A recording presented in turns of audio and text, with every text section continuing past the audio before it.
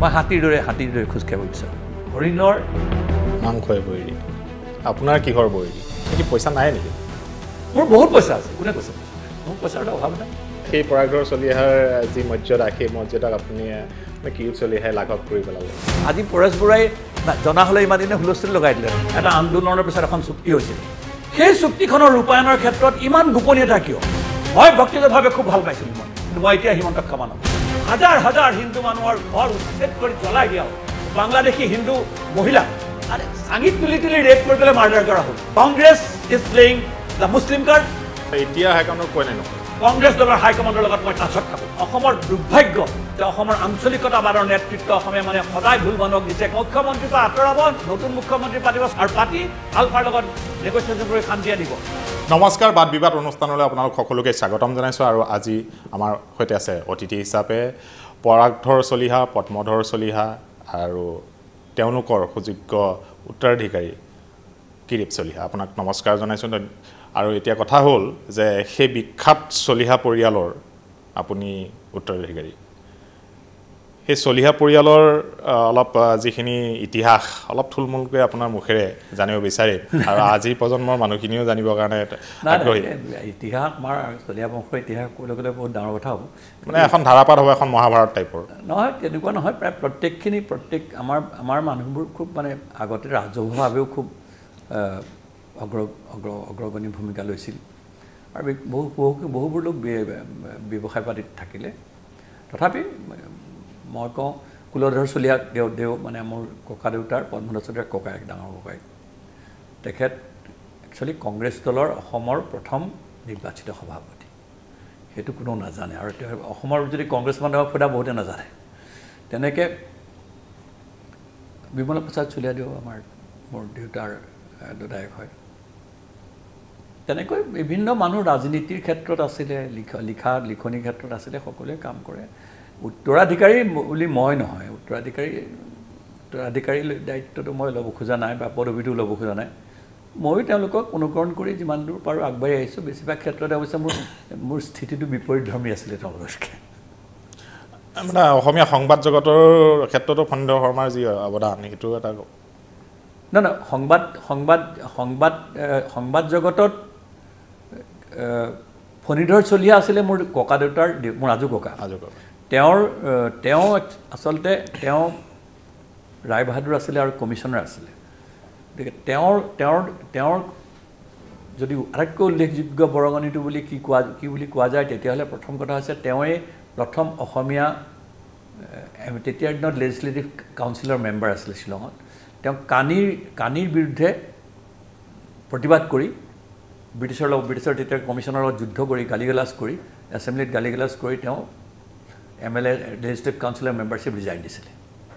আৰু সেইটো লৈ পেলাই একেবাৰে ব্ৰিটিছৰ স্বাভিমানী আৰু মানে স্বাভাৱিক নহয় অসমৰ কাৰ অসমৰ স্বাৰ্থত। কানিটোৱে কি ভয়াৱহ ৰূপ ধৰিছিলে সেই সময়ত মানুহে নাজানে। আজি আজি আমি উপলব্ধি কৰাটোৱে টান। তাত তাৰপিছত তেওঁলোকে তেওঁ আৰু গুঞ্জানন বৰুৱা গুঞ্জানন বৰুৱা মানে আমাৰ ৰাধা গোবিন্দ বৰুৱা দেৱৰ তেওঁলোকৰ আমাৰ ওচৰা ওচৰি নেইবাৰ আছিলে তেওঁ বেজবৰুৱা ফেমিলি লক্ষীনাথ বেজবৰুৱা ফেমিলিৰ মানুহখিনি সেই তেনেকৈ মানুহখিনিখিনি গোট খাই প্ৰথম অসম সাহিত্য সভা পতাৰ কথা কৈছিলে। আৰু প্ৰথম অসম সাহিত্য সভাৰ অধিৱেশনখন যিখনত তেওঁলোকে পদ্মনাথ গোহাঁই গোহাঁই বৰুৱাদেউক সভাপতি পাতিলে। সেই তেওঁ যেতিয়া সভাপতি হ'ল সভাপতি হোৱাৰ পিছত ফণীধৰ চলিহাই নিজে এখন তেতিয়া আমাৰ চাহাবৰ মানে হেৰি ৰায় চাহাবৰ যিখন বাগী কমিশ্যনাৰৰ বাগী সেই বাগীখনত উঠি পদ্মনাথ পদ্মনাথ বৰগোহাঁইক তেওঁলোকে আদৰি লৈ গৈছিলে। সেই প্ৰচেছন কৰাটো যিটো প্ৰচেছন হৈছিলে সেই প্ৰচেছন কিন্তু এতিয়াও সাহিত্য সভাৰ পৰম্পৰা চলি আছে। সেইখিনি কাম কৰিছিলে তেওঁলোকে মই স্বীকাৰ কৰিব লাগিব আপুনি নিজকে এতিয়া ভাবেনে যে আপুনি সেই বিখ্যাত চলিহাসকলৰ এগৰাকী সুযোগ্য মোৰ এজন বন্ধু আছিলে আমি একেলগে ডাঙৰ হৈছোঁ ডিব্ৰুগড়ত। তাৰ নাম চৌকত লতিফ বা বাপু। চবেই জানে এতিয়া। তাক চবেই জানে খুব ভাল উকিল। খুব আমি অন্তৰংগ বন্ধু আছিলোঁ। সৰুতে যেতিয়া মই কওঁ যে হেৰি বাপু ভৱিষ্যতে কি হ'ব? তুমি তুমি মই আমিবোৰ পাৰিম নে কিবা হ'বলৈ? ডিব্ৰুগড়ত মই পঢ়িছিলোঁ তেতিয়া এতিয়া বাপুৱে কৈছিলে "কিৰিপ, তুমি ৰাষ্ট্ৰসংঘত যাব পাৰিবা। কিন্তু অসম সাহিত্য সভাপতি তুমি হ'ব নোৱাৰা। বোলো কি কৈছা? নাই তুমি নোৱাৰা। গতিকে সাহিত্য সভাৰ ক্ষেত্ৰত মই এতিয়ালৈকে লিখা মেলাৰ ক্ষেত্ৰত খুব বেছি কৰিব পৰা নাই। কৰিছিলোঁ কলেজৰ সময়ত কৰিছিলোঁ। নাটক লিখিছিলোঁ। বেষ্ট নাট্যকাৰো হৈছিলোঁ ইউনিভাৰ্চিটিতো হৈছিলোঁ। কিন্তু লিখনিবোৰ মাজে মাজে লিখোঁ লিখিবলৈ মোৰ মানে মোৰ ধৈৰ্যটো অলপ কম। আপুনি মানে আপোনাৰ ধৈৰ্য খুব কম যেন অনুমান হয় ৰাইজেও কয় কথাবিলাক। নহয় সেইটো ৰাইজে কোৱা কথাটো নহয় অলপ কিছুমান বস্তুৰ মানে অলপ এটা হৈছে কি অলপ একঘেয়া স্বভাৱ এটা আছে যে মই যিটো সঁচা বুলি ভাবোঁ সেইটোত মই ধৰি ৰাখোঁ আৰু মই বেলেগ কথা শুনিবলৈ আগ্ৰহী নহয় সেইটো হয়তো মোৰ ঠিক নাছিলে। এতিয়া আজিকালি শুনো বয়স হৈছে এতিয়া লাহে লাহে শুনো ল'ৰাৰ কথা শুনো নাতিৰ কথা শুনো। যিটো ভাবে লগে লগে কৈ দিয়ে। আৰু সাধাৰণতে সাধাৰণতে অলপ স্পষ্ট স্পষ্টবাদিতাটো আমাৰ আমাৰ বংশৰে হেৰি দুখ এতিয়াতো শৃংখলেও অলপ হুলস্থুলটো ঠিকে ঠাকে চলাই গৈ আছে। শৃংখলে অলপ অধ্যয়ন কৰি পেলাই কথাবোৰ কথাবোৰ সকলো কথা অধ্যয়ন কৰি অধ্যয়নটো তাৰ অলপ কম। অধ্যয়নটো কৰি ল'লে হয়তো ভাল হ'ব পাৰে কিন্তু বৰ্তমান সি যিখিনি কৰি আছে সেইখিনি সম্পৰ্কত মই মন্তব্য নিদিওঁ। বাকী আপোনাৰ স্কুলীয়া জীৱনত কলেজীয়া জীৱনততো আপুনি বেছ চোকা ছাত্ৰ আছিল। তাৰপাছত আপোনাৰ সেইখিনি সময় আপোনাৰ সহপাঠী কোন কোন আছিল? ছাত্ৰ সন্থাৰ মজিয়াত আপোনালোকৰ বন্ধুবৰ্গ কেনেধৰণৰ আছিল? নাই নাই মই মোক মোক ছাত্ৰৰ ৰাজনীতিলৈ মই ৰাজনীতিলৈ মই আহিছিলোঁ কটন কলেজত সোমোৱাৰ পৰা। কটন কলেজত সোমোৱাৰ সময়ত প্ৰথম গুৱাহাটীলৈ আহিছোঁ তেতিয়া মানে মই মোৰ মোৰ দাদাইও আছিলে মানস চলিহা তেওঁ মানে আমাৰ লগত খুব ভাল আছিলে। তেওঁ মানে আমাক চব শিকাই এইবোৰ এক্সাৰচাইজ টেক্সাৰচাইজ কৰা সাঁতোৰা দিশত আমি সাঁতোৰ কেইবাৰ সাঁতুৰি পাৰ হ'ব পাৰোঁ মানে কম্পিটিশ্যন হয়। বাকী বহুতে মানে মই খুব খুব মোৰ মানে শৰীৰটো খুব বেছি কৰোঁ ষ্ট্ৰং নাছিলে। মোৰ দাদাইদেউহঁতে চবেই তাত মানে দহবাৰ সাঁতুৰি যায় ইপাৰ সিপাৰ হৈ। এতিয়া মই মানে সাতবাৰ ক্ৰছ কৰিব নোৱাৰোঁ আৰু। সেইকাৰণে মানে সাঁতুৰিছিল হা? ক'ত সাঁতুৰিছিলে? দিখৌত। আমাৰ ঘৰৰ দিখৌৰ পাৰতে পাৰতে দিখৌত সাঁতুৰি আমি ইপাৰ সিপাৰ হওঁ। গতিকে আমি অলপ মানে দুৰ্বল আছিলোঁ। কিন্তু এই এই- এই দেউতী দা মানৱ চলিহাৰ নাম দেউতী তেখেত তেখেত মানে খুব চিন্তাশীল ব্যক্তি আছিলে। তেওঁ মই যিদিনাখন মেট্ৰিক পাছ কৰি পেলাই গুৱাহাটীলৈ কটন কলেজত পঢ়িবলৈ আহিছোঁ তেতিয়াই মোক প্ৰথম উৎসাহ দিছিলে যে দেউতাৰ লগত মোৰ বেছি কথা নাছিলে। তেওঁ কৈছিলে যে ক্ৰিপ তই চা ইমান দিনেতো তই দিখৌত সাঁতুৰি আছিলি। এতিয়া কিন্তু তই ব্ৰহ্মপুত্ৰত সাঁতুৰিবগৈ লাগিব। সেইখন কিন্তু প্ৰহাত ডাঙৰ বিৰাট ডাঙৰ নদী। তাৰ পৰা তই সাগৰলৈ যাব লাগে দিল্লী। কিন্তু মই তোক এটা বিচাৰিছোঁ তই মানে এতিয়াৰ পৰা ঠিক কৰি ল'বি। তই কিন্তু হেৰিক তই কটন কলেজৰ জেনেৰেল ছেক্ৰেটাৰী হ'ব লাগিব মই বোলো কটন কলেজৰ জেনেৰেল ছেক্ৰেটাৰী মানে কি? বোলে তই হ'বি ছেকেণ্ড কটন কলেজৰ জেনেৰেল ছেক্ৰেটাৰী শিৱসাগৰৰ পৰা। শিৱসাগৰৰ first general secretary Cotton college আছিলে খগেন বৰবৰুৱাদেউ ৰিভলিউচনেৰী কমিউনিষ্ট পাৰ্টীৰ খুব ডাঙৰ নেতা আছিল তেওঁ এম এল এ আছিলে। আমাক মানে খগেন বৰবৰুৱাক তেওঁ আইডিয়েল কৰিব খুজিছিল আহিলোঁ কটন কলেজলৈ। তেতিয়া কটন কলেজত সোমোৱাৰ লগে লগে অতুল দাৰ পাল্লাত পৰিলোঁ অতুল বৰা আমাৰ অতুল। এতিয়া এম এল এ এতিয়া দিছপুৰৰ এতিয়া দিছপুৰৰ এম এল এ তেতিয়া তৰুণ অতুলদা মানে এটা দুৰ্দান্ত এটা শক্তি। অপ্ৰতিদ্ধ মানে আৰু অতুলদাই কোৱা কথা শেষ কথা। মোৰ মনত আছে প্ৰথম লগ পোৱা অতুলদাৰ লগ পোৱাৰ কথাটো মনত আছে। অতুলদাই ক'লে তুমি মই দেখিছোঁ তোমাক। তুমি আমাৰ সন্থাৰ কামত লাগিব লাগিব। বুজিছা? আৰু অসমীয়া অসমীয়াক আমি এৰিব নোৱাৰোঁ এনেকৈ এনেকৈ কথা কৈ মানে যুঁজ মানে বাপৰে। তাৰপিছত অতুলদা জেললৈ গ'ল। অতুলদা যেতিয়া জেললৈ লৈ গুচি গ'ল মানে মিলিটাৰী কোৱাৰ্টাৰবোৰ খালী কৰিব লাগে। মানে মিলিটাৰী থকা মানে হেৰি প্ৰিন্সিপাল কোৱাৰ্টাৰ চোৱাৰ্টাৰবোৰত মিলিটাৰীয়ে দখল লৈছিলে। গতিকে সেইটো আঁতৰাব লাগে বুলি এটা আন্দোলন কৰিলে। আন্দোলন কৰি ক'লে যে অসমতহে এনেকুৱা হৈছে বুলি তাত তাতেই অসমীয়াত্বটো আনিলে। আৰু সদৌ অসম ছাত্ৰ সন্থা এক্টিভ কৰিবলৈ ছেকেণ্ড ফেজত যদি সদৌ অসম ছাত্ৰ সন্থাটো সঁচাকৈ প্ৰতিষ্ঠা কৰিছিলে সেইটো কিন্তু অতুল বৰাহে। প্ৰচন্নতা পাছত আহিছে। অতুলদাক লগ ধৰিবলৈ আমি জেললৈ গৈছিলোঁ আৰু এই তেতিয়াৰ দিনত চিগাৰেটৰ পেকেটৰ ভিতৰত মানে চিঠিখন লিখি চিঠি লিখি দিছিলোঁ। মই আৰু প্ৰদীপ ভূঞা গৈছিলোঁ। আমি মানে তাত অতুলদাল লিখিছোঁ আপুনি চিন্তা নকৰিব আমি চব আন্দোলন কৰিবলৈ ৰেডি হৈছোঁ। আৰু তাত এখন হেৰি আন্দোলন সমিতি এখন হৈছিলে চাৰিজনীয়া কমিটি। তাত আছিলে মনিৰুল হুছেইনো আছিলে দিলীপ দাস আছিলে মনিৰুল হুছেইন প্ৰদীপ মই এনেকৈ আৰু দেৱব্ৰত চক্ৰৱৰ্তী বুলি এনেকৈ আছিলে আমি আন্দোলনটো কৰি কিন্তু সফল হ'লোঁ তাৰপিছত অতুলদা আহিলে তেতিয়া ছাত্ৰ সন্থা তাৰপিছত অতুলদাৰ পিছত দিলীপ দাস আহিলে সেই সময়ত আমি ছাত্ৰ সন্থাত জড়িত হৈ গ'লোঁ আৰু তাৰপিছত কটন কলেজৰ সাধাৰণ সম্পাদক হ'লোঁ তেতিয়া অলপ কাজিয়া আৰম্ভ হ'ল আৰু মানে কটন কলেজতো তেতিয়া মানে কি হয় কটন কলেজৰ থাৰ্ড মেচটো চোকা ল'ৰাৰ হোষ্টেল গতিকে চোকা ল'ৰাৰ ঠাইত মানে এটা বেলেগ এটা হোষ্টেলত আহিব লাগে। মই আকৌ ইংৰাজীত অলপ চোকা আছিলোঁ। আৰু নাটক চাটক লিখিছিলোঁ খুব প্ৰাইজ পাইছিলোঁ। বেষ্ট এক্টৰ বেষ্ট ডাইৰেক্টৰ ডিবেটিঙত মই সদায় ফাৰ্ষ্ট আছিলোঁ ইংৰাজী অসমীয়া দুয়োটাতে এক্সটেম্পৰ স্পীচতো আছিলোঁ। গতিকে মোৰ এটা বেলেগ ধৰণৰ পপুলাৰিটি আছিলে কাৰণে মই জিকি গ'লোঁ ইলেকশ্যনত তাৰপিছৰ পৰা মোৰ এই বিৰুদ্ধে আৰু আৰম্ভ হৈ গ'ল। আৰু ছাত্ৰ সন্থাৰ ৰাজনীতিৰ পৰা সাংঘাতিক আছিলে মই আহিলোঁ সদৌ গুৱাহাটী ছাত্ৰ সন্থাৰ অল ইন অল হৈ গ'লোঁ। কাৰণ কটন কলেজৰ general secretary all in all তেতিয়া আমাৰ লগৰ যিখিনি ল'ৰা আছিলে নামবোৰ নকওঁ ব- সিহঁতে মোক খুব অপ'জ কৰি দিয়ে। কৰি পেলাই সিহঁতে তেতিয়াই ডিচিশ্যন ল'লে যে কটনৰ জেনেৰেল ছেক্ৰেটাৰীক কিন্তু আমি সদৌ অসম ছাত্ৰ সন্থাৰ সাধাৰণ সম্পাদক হ'ব দিব নোৱাৰোঁ। অতুল দাৰ পিছত সেইকাৰণে প্ৰথম সাধাৰণ সম্পাদক প্ৰথম সাধাৰণ সম্পাদক কটন কলেজক বাদ দি হোৱা মানুহ হৈছে প্ৰসন্ন নাৰায়ণ চৌধুৰী। এতিয়া প্ৰসন্ন দাৰ পিছত হ'ল বৃন্দাবন দা বৃন্দাবন দাৰ পিছত নেচাৰেলি দুবছৰ কটন কলেজৰ ৰিপ্ৰেজেণ্টেশ্যন জেনেৰেল ছেক্ৰেটাৰী হিচাপে নাই সহকাৰী সাধাৰণ সম্পাদক আছে। গতিকে চবেই ধৰি দিছে যে মই জেনেৰেল ছেক্ৰেটাৰী অল আছামৰ জেনেৰেল ছেক্ৰেটাৰী হ'ম। তিনিচুকীয়াত অধিৱেশন হৈছিলে। আমি তেতিয়া সেই তাতে তেতিয়াই সেই আপাৰ আছাম আজিও এই শুনি দেখিছোঁ আপাৰ আছাম লোৱাৰ আছাম আমাৰ শংকৰজ্যোতিৰ কথাবোৰ দেখি। মই জানিছোঁ যে তাত খেলা আছে। কাৰণ সদৌ অসম ছাত্ৰ সন্থাত ইমান খেলা হয়। মানে তেওঁলোকে অসমখনক কি নীতি কৰিব? নিজক বাৰ বাজি কি চলেনো ভিতৰত? আচলতে উজনি অসম নামনি অসম জাত পাত কি নচলে? আৰু উজনি অসম নামনি অসমটো খুব চলে। Cotton college non Cotton college তিনিটা লবি থাকে। এটা আপাৰ আছাম লবি এটা তেজপুৰীয়া লবি যিটো বৃন্দাবন দা আৰু মানে বসন্ত দা এইবোৰে কণ্ট্ৰল কৰিছিলে। নগাঁৱৰ লবি আছিলে। আৰু? সেইটো মধ্য অসমৰ লবি। মধ্য অসম। এইফালে আহ, গুৱাহাটীতো আছেই। নলবাৰীত এটা আছে সাংঘাতিক সাংঘাতিক লবি আমাৰ তেতিয়া ব্ৰেইনবোৰ গোটেই নলবাৰীৰ ল'ৰাবোৰ চোকা ল'ৰা খুব নলবাৰীৰ ল'ৰাবোৰ গতিকে তিনিচুকীয়াত তেওঁলোকে মানে কি কৰিলে ঠিক কৰিলে যে মই কিন্তু জিকিম বুলি মই চিয়'ৰ আমাৰ কিন্তু আমাৰ আপাৰ আছামৰ ল'ৰাবোৰ ছাত্ৰ নেতাবোৰ অলপ উৎপত্তি আছিলে জানে তেতিয়াই পানী খাই মেলি মানে আহে গাড়ীত। আহি থাকোঁতে আমাৰ মোৰ মানে মেইন ছাপোৰ্টাৰ চিচিৰ ফুকন আছিলে ন- হেৰিৰ নগাঁৱৰ অল ইন অল যোৰহাটত আছিলে উদয় শইকীয়া। ডিব্ৰুগড়ৰ অৱনী গগৈ গোটেইখন একেলগে আহিছে। আহি গৈ গাড়ী খোৱাঙৰ আগত গৈ এক্সিডেণ্ট হৈ পেলাই ফ্লেট হেৰি উদয়টো তাতে ঢুকাই ঢুকাই থাকিলে। অৱনীয়ে বুকুৰ হাড় ভাগিলে শিশুৰৰো হাড় ভাগিলে গৈ পেলাই মেডিকেলত গ'ল। লগে লগে আমি তাত খবৰ কৰিবলৈ গ'লোঁ তাহাঁতক। সেই সময়তে হেৰি হৈ গ'ল। নতুন জেনেৰেল ছেক্ৰেটাৰী ইলেক্ট হৈ গ'ল। আছিলে এজন কি নাম আছিলে তাৰ নাম জিতেন আছিলে নেকি? জিতেন আছিলে। হয় আৰু প্ৰেচিডেণ্ট পাতিলে লালন সিং বুলি।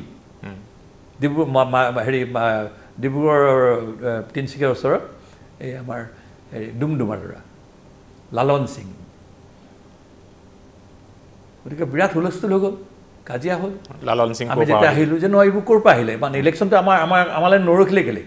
আমাৰ ল'ৰা মৰি আছে তাৰ মাজত আমি ডেড বডি লৈ পেলাই আহিছোঁ। সেই সময়ত ইলেকশ্যন কৰি দিলে। গতিকে কাজিয়া হৈ গ'ল আৰু একেবাৰে মানে ডিব্ৰুগড় ইউনিভাৰ্চিটিৰ তেতিয়া জেনেৰেল ছেক্ৰেটাৰী আছিলে এতিয়া খুব ডাঙৰ উকিল। আৰু দিলীপ বৰুৱা। সিয়ে ফায়াৰী স্পীচ দিছিলে তেতিয়া। দিলীপ বৰুৱাক নাজানো। আমি মানে তেতিয়া ভাবিছোঁ যে আহোম ল'ৰাৰ ভিতৰত মানে Dilip Bora will definitely become one day আজিও মই দুখ কৰোঁ। আৰু যদি ভগৱানে যদি কৰে আৰু এক পাক যদি লাষ্টত কেতিয়াবা মই কেতিয়া ক্ষমতা নলৈ আহোঁ দিলীপক মই ৰাজনীতিলৈ আনিমেই মানে। ভাৱ থাকে নাহিল তাৰমানে আৰু। সি তাক সি মানে একদম লিখা মেলা এইবোৰ কৰি পেলাই বা পঢ়া শুনা কৰি খুব চোকা আছিলেতো। উকালটিত সোমালে আৰু উকালটিত সোমাই সোমাই আছে। এতিয়াও আছে সি। মই তাক লগ পাওঁ মাজে মাজে। তেতিয়া দিলীপহঁতে প্ৰটেষ্ট কৰিলে। তাৰপিছত এই আমাৰ ইয়াত ইয়াত কমাৰ্চ কলেজৰ জেনেৰেল ছেক্ৰেটাৰী আছিলে পুলিন হাজৰিকা বুলি সি এতিয়াও ফোন কৰি থাকে। তাৰপিছত কিবা আপাৰ আছামৰ নগাঁও যোৰহাট ডিব্ৰুগড় এইবোৰ প্ৰটেষ্ট কৰিলে প্ৰটেষ্ট কৰি ছাত্ৰ সন্থা প্ৰায় দুভাগ হোৱাৰ নিচিনা হ'ল। আৰু সেইকাৰণেই তাৰ পিছৰ পৰা ছাত্ৰ সন্থা বহুত দিনলৈকে নাইনটিন মই জনামতে নাইনটিন ছেভেণ্টি আমাৰ এইটো আছিলে ছেভেণ্টি ফাইভৰ ঘটনা। তাৰপিছত তাৰপিছত নেক্সট যেতিয়ালৈকে ভৃগু প্ৰফুল্ল প্ৰফুল্ল ভৃগু সভাপতি নহ'ল তেতিয়ালৈকে ছাত্ৰ সন্থা সেই আগৰ জোৰ নাছিলে আৰু। ভৃগু মোৰ লগত একেলগে পঢ়া কিন্তু আমাৰ আমাৰ দিনত তেতিয়া এটা কথা আছিলে যেতিয়া ইউনিভাৰ্চিটি পাব আৰু ইউনিভাৰ্চিটি পাৰ হোৱাৰ পিছত ছাত্ৰ সন্থা পাৰ হোৱাৰ পিছত আৰু কোনোদিন ছাত্ৰ সন্থাত কাম কৰিব নোৱাৰে কোনো আমিও ইউনিভাৰ্চিটিত আমি তেতিয়া প্ৰিভিয়াছ দি মানে ফাইনেল পৰীক্ষা দি উঠি আমি কলেজত সোমাই যাওঁ প্ৰফেচাৰ ইংৰাজী প্ৰফেচাৰ তেতিয়া খুব কমেই আৰু। ইংৰাজী প্ৰফেচাৰ নাথাকে গতিকে মাতি মাতি লৈ লৈ যায়।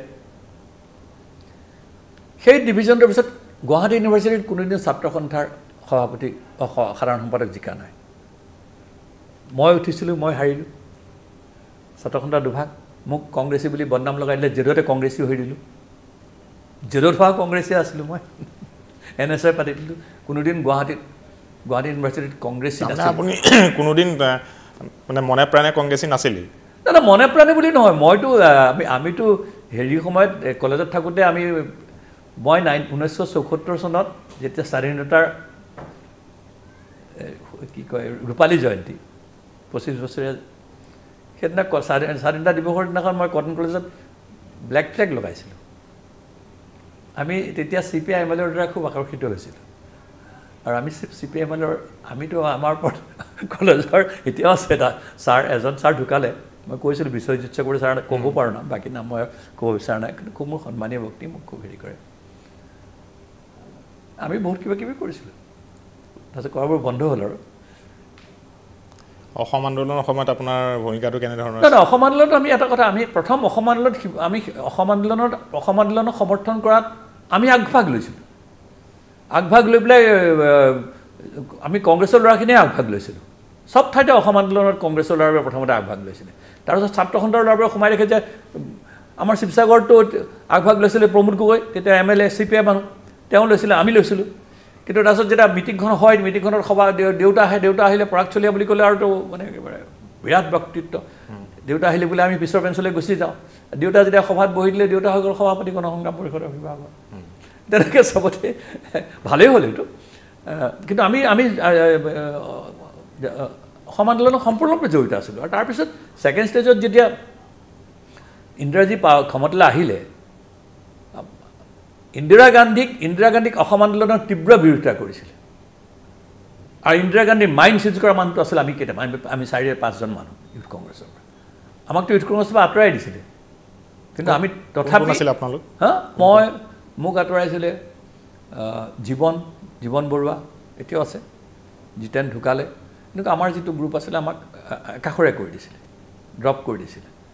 কিন্তু ৰাজীৱজীয়ে ৰাজীৱজী অহাৰ পিছত আকৌ বেলেগ হৈ গ'ল ৰাজীৱজীয়ে আকৌ আমাক আমি আমি অসম আন্দোলনটো যে অসম আন্দোলনটো যে এটা সাম্প্ৰদায়িক আন্দোলন নহয় বা অনা অসমীয়া বিৰোধী আন্দোলন নহয় এই কথাটো আমি ইংৰাজীক বুজাব পাৰিছিলোঁ। আৰু এইবোৰ বহুত কাহিনী আমি ইংৰাজীক কেনেকৈ গৈ লগ ধৰিছিলোঁ আৰু কেনেকৈ তেওঁ আমাক ছাতিটো এনেকৈ লৈ পেলাই আহি পেলাই শুনি পেলাই আমাৰ কথা শুনি পেলাই আমাক ডক্টৰ ৰাজেন্দ্ৰ কুমাৰী বাজপেয়ীৰ লগত আৰু এজন তেওঁ হেৰি এক্সপাৰ্ট এজন দিছিলে অফিচাৰ এজন মোৰ মনত নাই নামটো। অসম আন্দোলন লৈ পেলাই আমি প্ৰায় ছঘণ্টা আলোচনা কৰিছোঁ বেলেগ বেলেগ সময়ত যে কি কি কাৰণে এইটো লাগে? তেতিয়া আমি তেওঁক বুজাইছিলোঁ যে অসম আন্দোলনটো এইটো কোনো হিন্দু মুছলমানৰ কথা নহয়। আছাম আছামে ইণ্ডিয়াক ইণ্ডিয়াত যে অসম মানুহে বিশ্বাস আচৰিত হ'ব তোমালোকেও তেনেকৈ ভাবিছা নাই ক'ব নোৱাৰোঁ। আমি সদায় যেতিয়া কওঁ মই প্ৰথমতে সেইটো লৈ পেলাই আলো আৰম্ভ হয়। মই কৈছোঁ অসম বুলি কোনো দেশ নাছিলে এইবোৰ মিছা কথা। অসম বুলি কোনো দেশ নাছিলে। এই যে কয় প্ৰাগ জ্যোতিষপুৰ আছিলে যে ডিজ আৰ অল ক্ৰিয়েশ্যনছ আহোমে ৰাজত্ব কৰিছিলে অসমত আহোম ৰজা আছিলে কোচ ৰজা আছিলে। আহোমৰ আহোম আহোম ৰাজত্বৰ দিনত আহোম আৰু কোচৰ মাজত যুদ্ধ চলে। আহোম আৰু চুতীয়াৰ মাজত যুদ্ধ চলে। আহোম আৰু মণিপুৰী নগাৰ মাজত যুদ্ধ চলে। আমাৰ মাজততো একতা নাছিলে অসমীয়া জাতি বুলিতো একো বস্তু নাছিলে। অসমীয়া জাতি পাছত সৃষ্টি হৈছে অসমীয়া জাতি বুলি যিটো জাতি সত্তা আজি যিটো আমি আছোঁ। আৰু সেইটো সৃষ্টি- সৃষ্টি হৈছে যেতিয়া ভাৰতবৰ্ষ বুলি কোনো জাতি নাছিলে। ভাৰতবৰ্ষ বুলি কোনো দেশ নাছিলে। এসময়ত ভাৰতবৰ্ষ বুলি ক'লে আফগানিস্তান আফগানিস্তান চব মিলি তেনেকৈ। আছিলে। মোগলৰ দিনত এখন এটা বেলেগ ৰাজ্য হ'ল। তেতিয়াতো তাততো অসম নাছিল। বং- বাংলাদেশখন এতিয়া যিটো বাংলাদেশ পূব পাকিস্তান তেতিয়া গৌৰ আছিলে। অসম ভাৰতবৰ্ষ বুলি ক'ত এটা এখন দেশ আছিলে? ভাৰতবৰ্ষ আজিৰ যিখন ভাৰতবৰ্ষ যিখনক লৈ পেলাই আমি আমাৰ আমাৰ দেশ বুলি কওঁ সেই দেশখন হৈছে মহাত্মা গান্ধীৰ দান। কংগ্ৰেছৰ দান। কংগ্ৰেছেই ভাৰতবৰ্ষ সৃষ্টি কৰিছিলে। কংগ্ৰেছে অসম সৃষ্টি কৰিছিলে। কংগ্ৰেছৰ কংগ্ৰেছৰ দিনতে অসমখনক ভাৰতবৰ্ষৰ ভিতৰত সোমাব খোজা নাছিলে। একমাত্ৰ কংগ্ৰেছৰ কাৰণে আৰু মহাত্মা গান্ধী সুভাষ বোস শৰৎ চন্দ্ৰ বোস এই তেনেকুৱা কিছুমান মানুহৰ কাৰণে আনকি নেহৰু নেহৰুজীৰ দৰে মানুহ নালাগে বাংলাদেশত যদি মই কি মানে তেতিয়া পূব পাকিস্তান পাকিস্তানত যদি গ্ৰুপিঙত যাব লাগে গ্ৰুপিঙত ভৰাই দিব খুজিছিলে। কিন্তু তাৰ বিৰুদ্ধে কৰি পেলাই একমাত্ৰ মানুহ ৱাজ গান্ধী। গান্ধীয়ে ক'লে no' provincial Congress of Assam is an autonomous body আৰু তোমালোকে যদি এতিয়া গ্ৰুপিঙত পাকিস্তানৰ লগত যাব নিবিচাৰা বা ভৱিষ্যতে যদি পাকিস্তানৰ লগত তোমালোকে মাৰ্চ হ'ব নিবিচাৰা তেতিয়া তোমালোকে দৰকাৰ হ'লে প্ৰয়োজন হ'লে you secede from first provincial কংগ্ৰেছক চিচিট কৰাই দিয়া that let they cannot be part of, they will not be part of All India Congress Committee. আৰু তাৰ পাছত যদি দৰকাৰ ইণ্ডিয়ান ইউনিয়নৰ পৰা চিটেট কৰি ইণ্ডিপেণ্ডেণ্ট কাণ্ট্ৰি ডিমাণ্ড কৰা that was the suggestion of Gandhiji আজি পৰেশ বৰাই না- জনা হ'লে ইমান দিনে হুলস্থুল লগাই দিলে at that time Gandhiji said যে যদি অল ইণ্ডিয়া কংগ্ৰেছ কমিটিয়ে তোমালোকক সমৰ্থন নকৰে ইউ চিচিড সেইটো যদি নকৰা অসমৰ মা অসমৰ অস্তিত্ব শেষ হ'ব অসম কোনদিন জীয়াই নাথাকে। কাৰণ বাংলাদেশৰ লগত মানে পূব পূব পাকিস্তানৰ লগত এখন এখন ইছলামী ৰাষ্ট্ৰত অসমৰ জেগা নাই। অসমততো ইছলাম আচলতে আপুনি গোটেই বিষয়টো পূৰ্বৰ পৰাও দেখি আহিছে পৰ্যবেক্ষণ কৰি আহিছে। বৰ্তমানৰ পৰিস্থিতি পৰিৱেশত বাংলাদেশত যি ৰাজনৈতিক এটা উত্থান হ'ল যে প্ৰধানমন্ত্ৰীগৰাকী তাৰ পৰা পলায়ন কৰি ভাৰতত আশ্ৰয় ল'বলগীয়া হ'ল তাত কেয়াৰটেকাৰ গভমেণ্ট চলি আছে। এই গোটেই সমস্যাটো যে অসমৰ সৈতে সাংঘাতিক ধৰণে এটা জড়িত বিষয়। জড়িত বিষয় নহয়। এইটো এটা এইটো অকল জড়িত বিষয় নহয় বা তাত হোৱা পৰিৱৰ্তনটো এটা সাধাৰণ ঘটনা বুলি যদি ধৰি লওঁ নহয় মই কৈছোঁ it has become an existential crisis for Assam অসমৰ মানুহৰ অস্তিত্ব বিপন্ন হৈছে। সকলো ঠাইত বিপন্ন হৈছে। কেনেকৈ? মই আকৌ কওঁ। প্ৰথম কথা মই আকৌ আগৰ কথাটোলৈ আহি লওঁ। যে সাংবিধানিক ৰক্ষাবেক্ষণৰ ক্ষেত্ৰত it is a it is a part of a national consensus ভাৰতবৰ্ষৰ সকলো ৰাজনৈতিক দলে এইটো সমৰ্থন কৰিছিল। অসমৰ সকলো ৰাজনৈতিক দলে সমৰ্থন কৰি পেলাই এটা আন্দোলনৰ পিছত এখন চুক্তি হৈছিলে। সেই চুক্তিখনৰ ৰূপায়ণৰ ক্ষেত্ৰত ইমান গোপনীয়তা কিয়? এই সাংবিধানিক কবচখনত বোলে কিবা দহটা কিবা কাৰ্যকাৰী কৰিব নোৱাৰে কিবা পাঁচটা কাৰ্যকৰী কৰিব নোৱাৰে পাঁচটা চেণ্ট্ৰেল গভৰ্ণমেণ্টৰ কথা বাকীকেইটা আমি কাৰ্যকৰী কৰিম। মই ব্যক্তিগতভাৱে খুব ভাল পাইছিলোঁ হিমন্ত কিন্তু মই এতিয়া হিমন্তক ক্ষমা নকৰোঁ। এক নম্বৰ। দুই নম্বৰ আপুনি ক'লে বাংলাদেশী। কি হৈছে বাংলাদেশত আপোনালোকে জানেনে? অসমৰ বাতৰি কাকতত কোনো লিখা নাছিলে সেইদিনাখন মই কোৱাৰ পিছতো তাৰ পাব্লিচিটি হোৱা নাই। অসমত যেতিয়া যেতিয়া বাংলাদেশৰ যে যিদিনাখন আঠ আগষ্টত নিযুক্তি পাইছিলে আমাৰ বাংলাদেশৰ হেৰি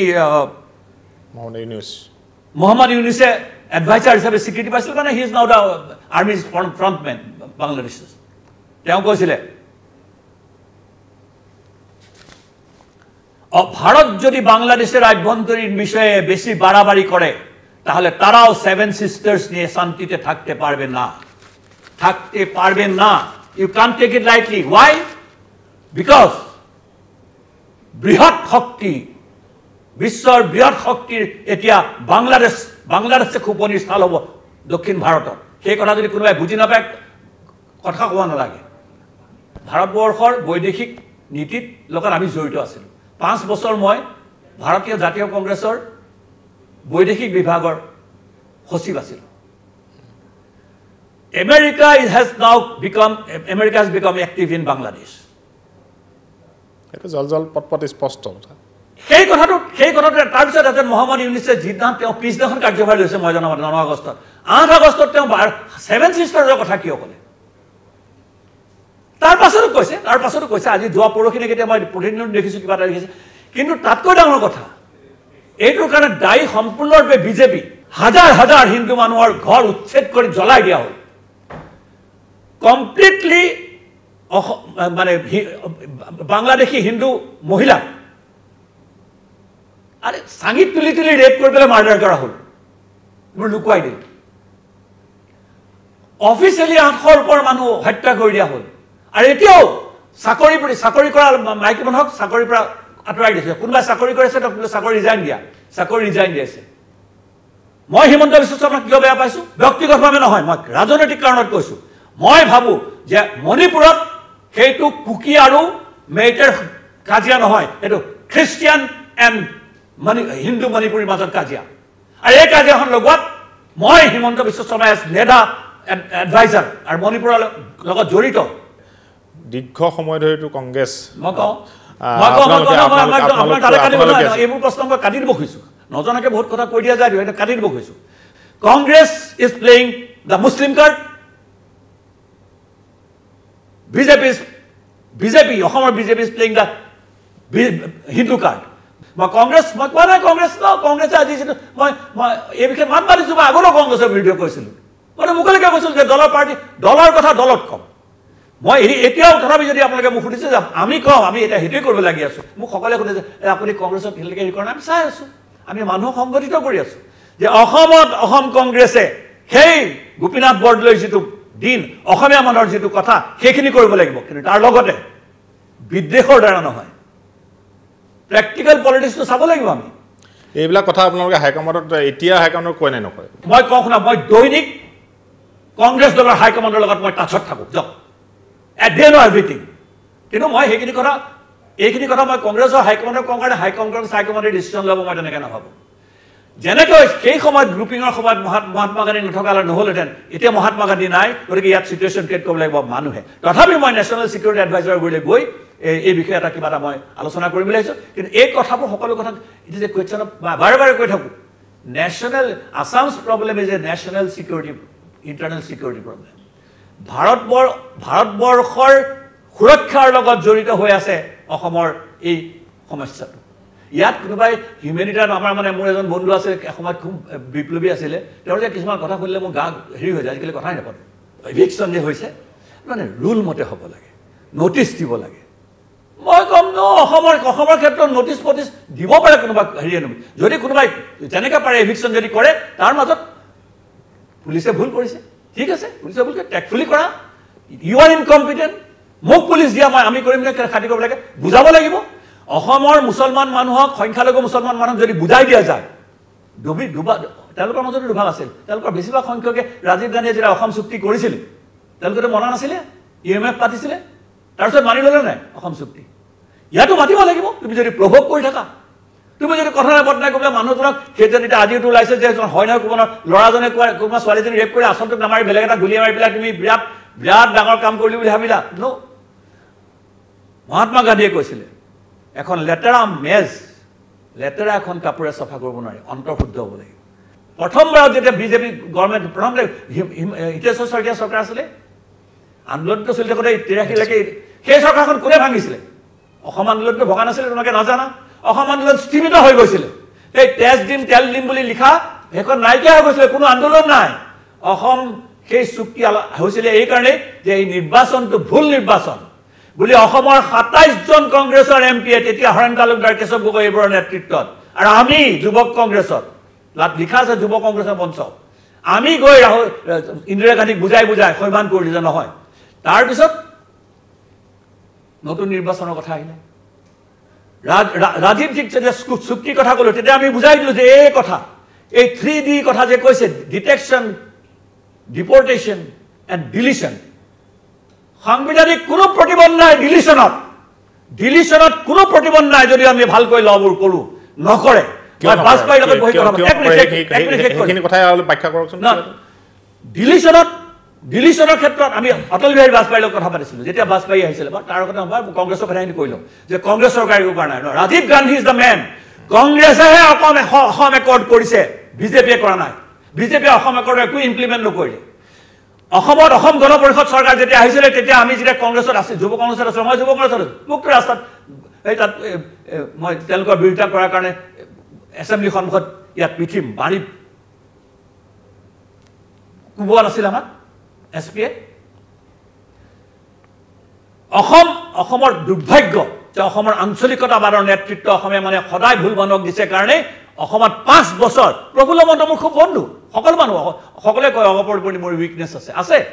কাৰণ এটা অসমীয়াৰ কাৰণে মাত মাতিছে আমি অসমীয়াৰ কাৰণে মাত মাতিব নোৱাৰোঁ ৰাষ্ট্ৰীয় দলত আছিলোঁ বহু কথা সীমাবদ্ধ আমি পাৰ্টীৰ ভিতৰত ক'ব লাগে। পাঁচ বছৰত এদিনো এখন আই এম ডি টি এখন আঁতৰাব লাগে বুলি ডিমাণ্ড কৰা নাই কোনো কাম নকৰিলে খালি টকা পইচা খাই নিজক বনালে দুই নম্বৰী কাম কৰিলে। মই আজি কওঁ মুকলিকে। অসমতো অসমতো কোনো ধৰণৰ ডাঙৰ এনেকুৱা আৱাজ নহ'ল যে নাই একৰ্ডখন ইমপ্লিমেণ্ট কৰিব লাগে। তাৰপিছত আহি গ'ল শইকীয়া। শইকীয়া যেতিয়া নাইণ্টি ওৱানত আহিলে আমি এম পি হৈ গ'লোঁ। মই এম পি হৈ থাকিম তেতিয়া শইকীয়াৰ তাত। এই কথাটো লৈ পেলাই কি কৰিছিলোঁ? জানে সকলোৱে জানে। মই আমাৰ আমাৰ আকৌ শইকীয়াৰ লগত যুদ্ধ হ'ল। আৰু শইকীয়া কিন্তু শইকীয়া কিন্তু মই কওঁ হিতেশ্বৰ শইকীয়াক মানুহে যিমানেই যিমান প্ৰেজ নকৰক হিতেশ্বৰ শইকীয়াৰ লগত আমাৰ মূল বিৰোধিতা আছিলে যে হিতেশ্বৰ শইকীয়াই সেই সুবিধাবাদী ৰাজনীতি কৰে। শইকীয়াৰ দিনত বেছি কাম হোৱা নাছিলে। কিন্তু তথাপি নৰসিংহ ৰাৱে একৰ্ডখন লৈ পেলাই আলোচনা কিছুমান আৰম্ভ কৰিছিলে। অসমৰ মানুহৰ কোনো কিন্তু তাত হেৰি নাই। অগপৰ কোনো ডিমাণ্ড নাছিলে। অগপত এতিয়া ডিছক্ৰেডিট হৈ গৈছিল থানমান হৈ গৈছিলে। ছেকেণ্ড টাইম অসম অগ- অগপ আহিলে। সেইবাৰো কিন্তু আমাৰ ভূমিকা আছিলে। আমি কিন্তু প্ৰতিবাদ কৰি পেলাই ৰিজাইন দি পেলাই কংগ্ৰেছৰ পৰা আঁতৰি গৈছিলোঁগৈ। তাৰপিছত পাছত আহিলোঁ। সেই তাতো কিন্তু নতুন গভৰ্ণমেণ্টখন যেতিয়া আহিলে তেতিয়া তাত সোমাই গ'ল। ডাঙৰ ডাঙৰ ৰিজনেল ফ'ৰ্চ বুলি কৈ পেলাই চিনাকি দি পেলাই গোটেই লেফটিষ্ট লেফটিষ্টবোৰ চব ৰিজনেল হৈ গ'ল। আৰু এতিয়াও যিবোৰে বৰ্তমান মানে বিৰাট নিজকে আঞ্চলিকতাবাদী বুলি কয় তেওঁলোকে এক্সট্ৰিম লেফ্টো আছিলে এক্সট্ৰিম ৰাইটো আছিলে। আমিও আছিলোঁ এক্সট্ৰিম লেফ্ট কিন্তু কলেজত আছিল। প্ৰফেচৰ হোৱাৰ পিছত যেতিয়া মানুহক শিকাওঁ তেতিয়া আৰু সল বৰণি সলাব না বৰণ সলাব নাপায়। তেতিয়াহ'লে বৰণ সলালে মানুহজনৰ যিটো তেওঁৰ বৌদ্ধিক সত্তা সেইটোক অপমান কৰা হয়।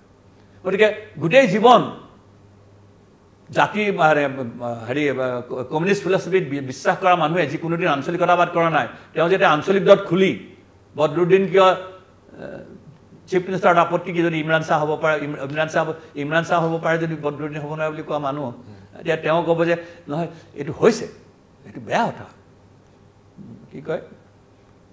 এভিকশ্যন হৈছে বেয়া কথা। কিন্তু এনেকৈ হ'ব নালাগে এনেকৈ গুলি আৰে গুলিটো মাৰিবৰ সময়ততো নাচায় পুলিচ।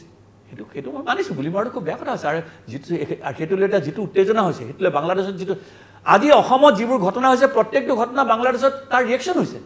সেইটো সত্য। গতিকে সেইটো কিয় কৰিছে? সেইটো কৰিছে তাৰ কাৰণ আছে। এনেকুৱা অস্থিৰতাৰ মাজত অলপ শখন তখন এইবোৰ কৰি মেলি মই যাব লাগে আৰু। কাৰণ হিমন্তই জানে যে কিমান দিন থাকিব। মই আজি কৈছোঁ মুখ্যমন্ত্ৰী হিমন্ত বিশ্ব শৰ্মা মই সেইদিনাখনো অলপ সাধাৰণভাৱে আজি মই কৈছোঁ মুখ্যমন্ত্ৰী হিমন্ত বিশ্ব শৰ্মা এই যিটো এতিয়া ঘূৰ্ণী বতাহত লাগিছে নহয় তেওঁ উৰিব। তুমি মুছলমান মানুহ হ'ল বুলিয়ে তুমি তাক অপমান কৰিবা তই বিয়া তই অমুক তোক চাব নোৱাৰোঁ। আপুনি আপুনি শুনক মোক খং তুলি নল'ব মই কি কৰিম কি কৰিব খুজিছে মই জানিব খুজিছোঁ হিমন্ত বিশ্ব শৰ্মাৰ পৰা। তেওঁৰ যদি খং উঠে তেওঁ যদি বলিয়া পগলা কুকুৰৰ দৰে কামোৰ কি কামোৰ মাৰি মেলি কি কৰিম বুলি কয় তেওঁ কি কৰিব খুজিছে সেই কথাটো মুকলিকে নকয় কেলে? I would like to know' যে Himanta Biswa Sharma you tell me J P নাড্ডাই যে কৈছিলে আৰ এছ এছক আমাৰ দৰকাৰ নাই তুমি সেই কথাটো সমৰ্থন কৰা নে নকৰা?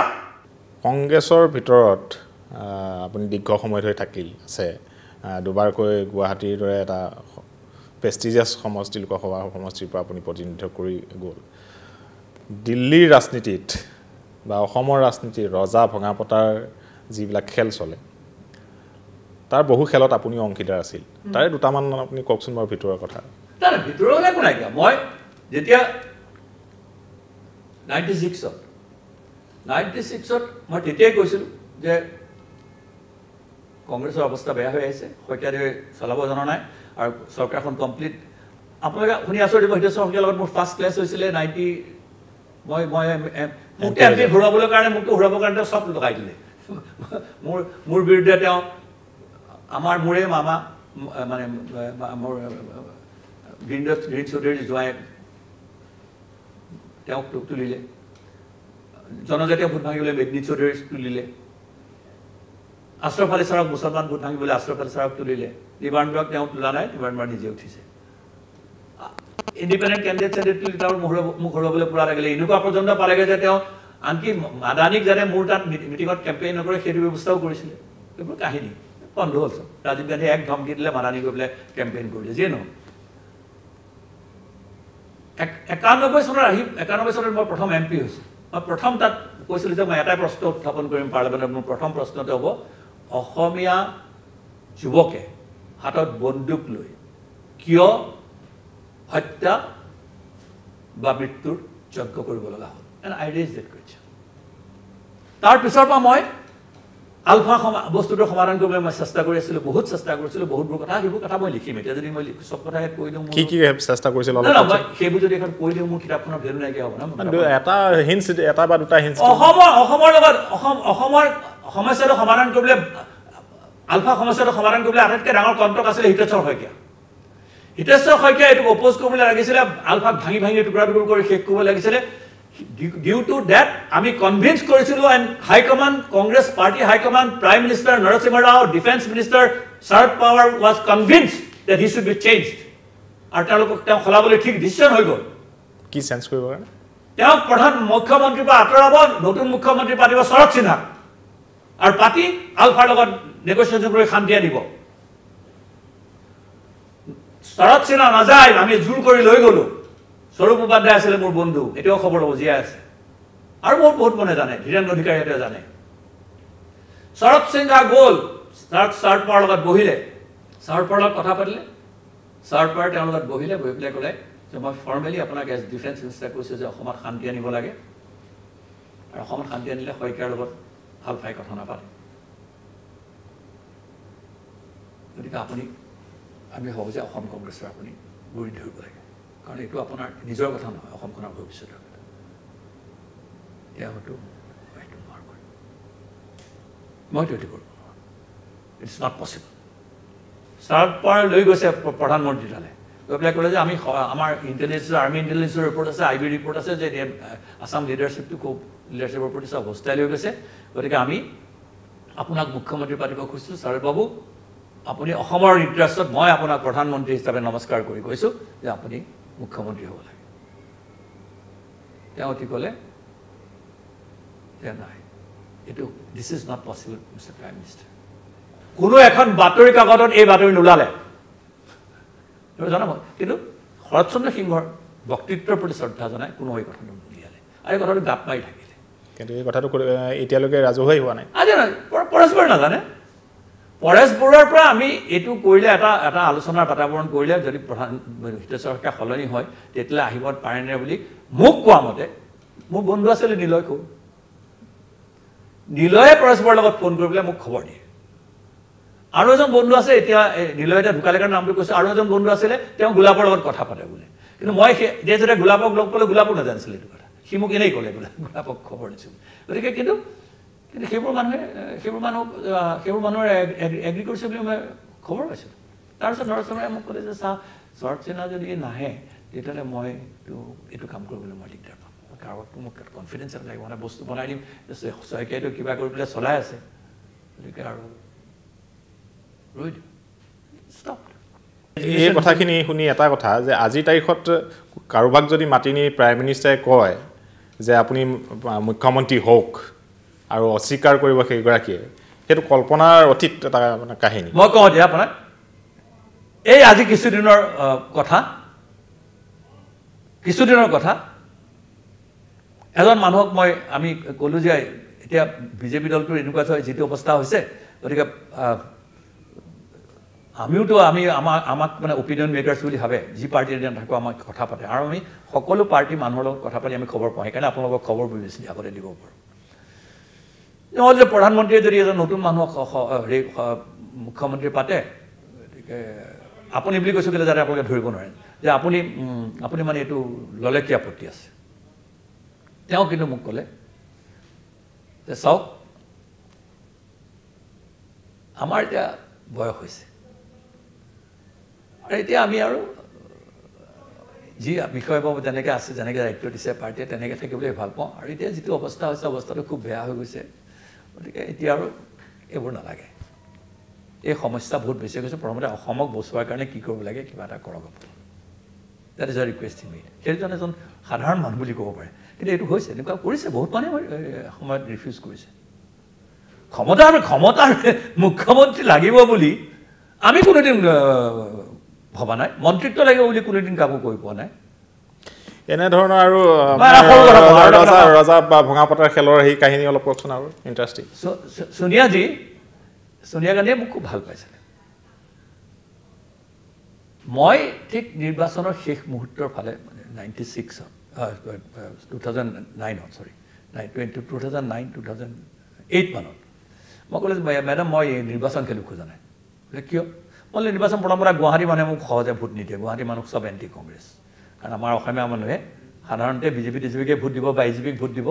মোক ভোট নিদিয়ে মোক কিন্তু মই এই ভূপেন্দ্ৰ গৌৰৱৰ সময়ত এটা আছিলে আৰু সেইকাৰণে এটা বেলেগ কথা। ভূপেন্দ্ৰাৰ এগেইনষ্টে চব মই একলগ আপুনি ক'লে আপোনালোকে ক'লে মই একলগ কৰি পেলাই ভোট পালোঁ। কিন্তু এতিয়া কিন্তু মানে সেইটো জিকাটো বৰ সহজ নহ'ব কাৰণ তৰুণ দাই নিৰ্বাচনত জিকিব নোৱাৰে। গতিকে মোক ৰাজ্যসভা চিট এটা দিব। ৰাজ্যসভাত বোলে তোমাৰ য়ং ল'ৰাবোৰ গুচি গ'লে কেনেকৈ হ'ব কেনেকৈ বোলে হ'ব। মোৰ ঠাইত অন্য কাৰোবাক দিলে। এই কথাটোত মই অকণমান মানে দুখ পাই আছিলোঁ। এদিন তেতিয়া ছোনিয়া গান্ধী তাত অহা যোৱা কৰোঁ মই কৰোঁ মই গতিকে মই এপইণ্টমেণ্ট চেপইণ্ট তাত ঠিক কৰোঁ। আমাৰ আব্দুল মৌলানা কি কয় চৰি গোলাম উছমানী চাহাব কিবা কাৰণে ক'লে যে বাবা মোক হেৰি নামক লগ কৰাই দিয়ে। মই লৈ গ'লোঁ উছমানী চাহাবক। হেৰি উছমানী চাহাবে ক'লে উছমানী চাহাব গ'লে মোক তেওঁ কোৱা নাছিল মই মই মানুহ সোমাই পেলাই মোৰ পৰা ওলাই আহোঁ। মই ওলাই আহিছোঁ। ওলাই আহোঁতে सोने का "नहीं, एक मिनट एक मिनट, एक मिनट क्लिप चले जी आइए तो आइए तो आइए। मैं मैं मैडम को कुछ कहना चाहता हूँ I want to tell something to madam madam অলপ থটমত খালে কি madam why why why are you not doing justice to my to this young boy, young boy what justice no you have not made him uh, uh, the, give, given him the Rajya Sabha seat he feels bad আচ্ছা।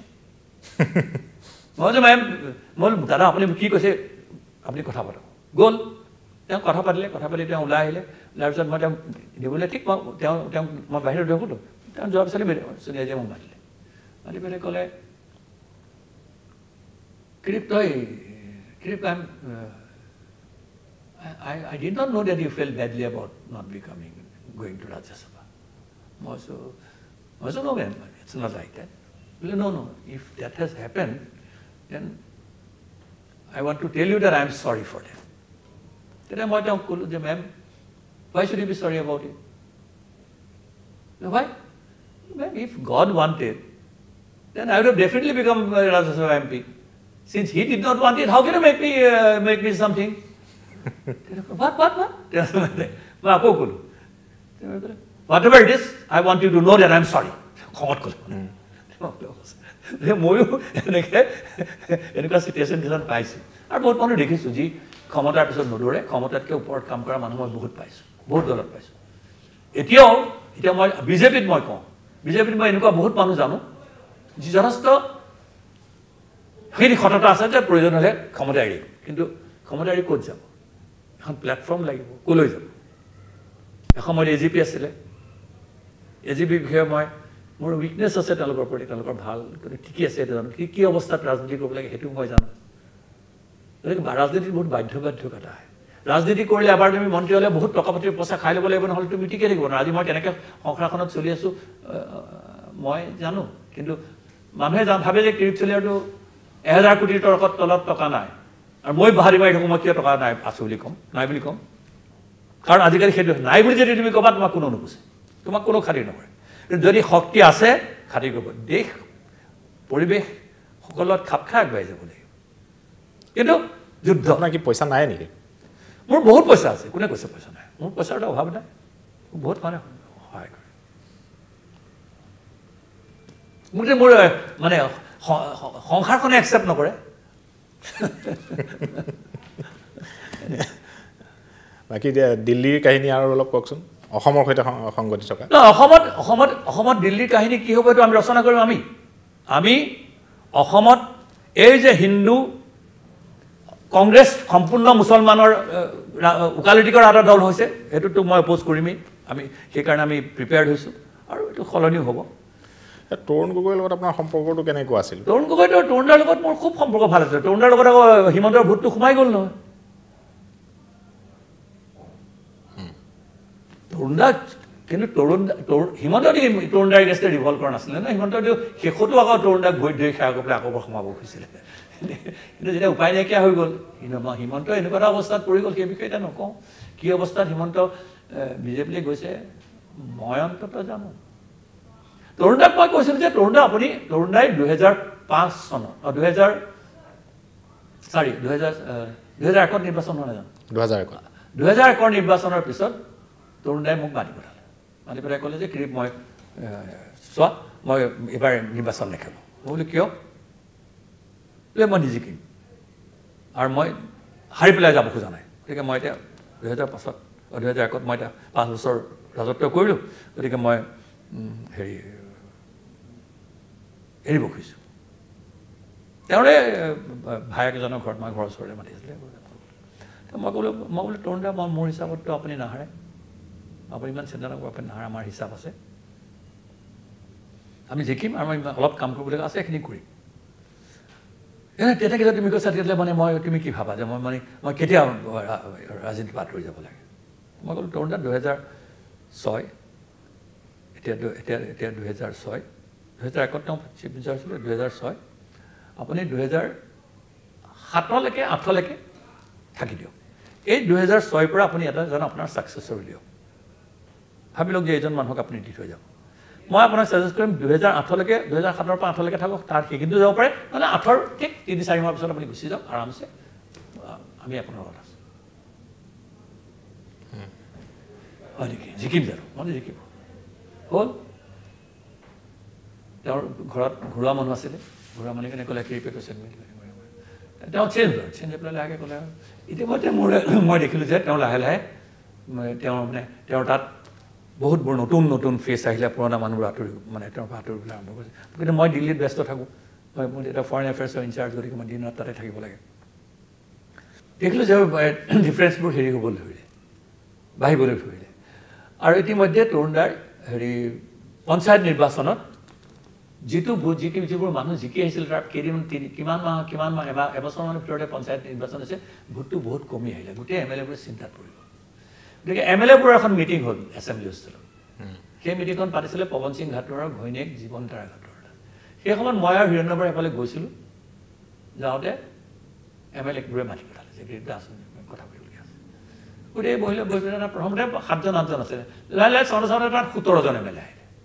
ক'লে যে কিবা এটা কৰিব লাগে এতিয়া তৰুণ দাক তৰুণ দাইটো নোৱাৰিব এতিয়া ভুল কৰিছে আৰু এতিয়া অমুকৰ ৰাজত্ব চলিছে অমুকে এইবোৰ এইবোৰ। কি কয় এইটো? কিবা কয় ব্ৰিগেড দাদা ব্ৰিগেড। তেনেকুৱা উৎপাত চলিব নোৱাৰোঁ। চিনিয়ৰ মানুহ চব। গতিকে কিবা এটা কৰিব লাগিব গতিকে অলপ সোণিয়াজীক কওঁ তেনেকুৱা সোণিয়াজীলৈ ভাল কওঁ মই গৈ সোণিয়াজীক ক'লোঁ বোলে সোণিয়াজী এনেকুৱা এনেকুৱা কথা হৈছে। তৰুণ দাৰে বোলে কি হৈছে? বোলে ৰিভল্ট হ'ব পাৰে বোলে হ'ব পাৰে। পাছত।